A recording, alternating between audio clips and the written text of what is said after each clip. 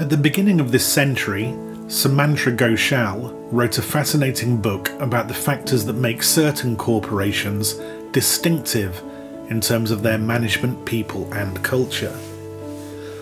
He memorably described these very different environments as either like the energy sapping feel of downtown Calcutta in midsummer, or the Fontainebleau forest in spring. If the culture of the organisation feels oppressive, compliance heavy, and personally stifling, it saps all the initiative, creativity, and commitment from its people. For Ghoshal, one of the most important roles of any leader was to create the right environment for people, not just to strive, but to thrive.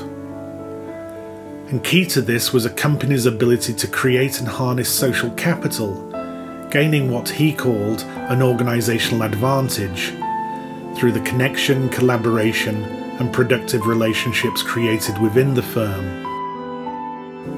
He was talking about a leader's responsibility to create glue